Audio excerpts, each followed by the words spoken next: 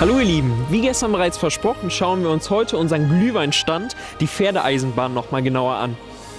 Die Montage ist bereits erfolgt, morgen beginnen wir dann mit dem Innenausbau und der Maler kommt für den letzten Anstrich vorbei. Aber was wäre ein Glühweinstand? Ohne Glühwein. Wir präsentieren euch heute den neuen Glühweinbecher der diesjährigen Wintersaison. Doch bevor wir das tun, schauen wir uns an, wie die Pferdeeisenbahn heute Morgen hier bei uns in Berlin angekommen ist.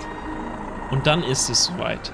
Eines unserer Highlights hat den Weg aus Ruppichteroth bis zu uns auf den Kaiserplatz geschafft. Nach dem Abladen der historischen Pferdeeisenbahn wird sie vor Ort montiert.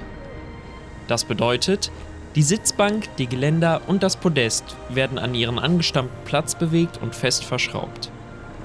Parallel dazu finden in der Werkstatt die letzten Vorbereitungen für das finale Aussehen statt. Entscheidend hierbei die richtige Farbauswahl, hinter der die jetzige Grundierung verschwinden wird, das passende Design der Schriftzüge und diverse Applikationen sowie Verzierungen. Noch jede Menge Arbeit, bis die Restaurationsarbeiten unserer historischen Bahn am Samstag abgeschlossen sein werden. Neben den bisherigen Motiven könnt ihr in diesem Jahr euer Heißgetränk auch aus unserer neuen Wangtasse zu euch nehmen. Das wollt ihr bestimmt nicht alleine tun, deswegen lasst uns in den Kommentaren unten wissen, mit wem ihr in diesem Wintertraum gerne ein leckeres Getränk zu euch nehmen wollt. Das war's für heute, ich hoffe wir sehen uns morgen wieder, bis dahin bleibt neugierig. Zum Wohl!